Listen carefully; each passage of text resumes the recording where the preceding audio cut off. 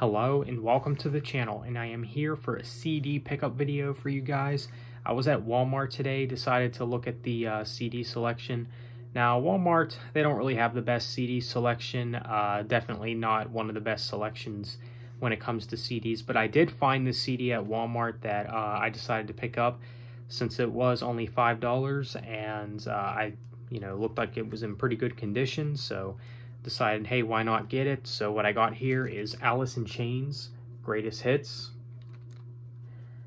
This is uh, a compilation album, of course, uh, of songs from the uh, Layne Staley era, which the Layne Staley era you can't go wrong with of Alice in Chains, but yeah, saw it for a decent price, figured, hey, why not get it? So, yep, compilation album from Alice in Chains, Greatest Hits. So that's my only pickup for today. Let me know what you think. Are you a fan of Alice in Chains? Do you have this CD?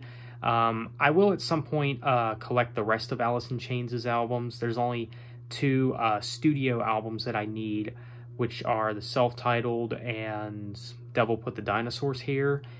And I believe there's also another EP of theirs that I'm missing as well. I will get those at some point, but yeah, but that's my pickup for today. Let me know what you think. Thanks for watching. Have a nice day. Take care.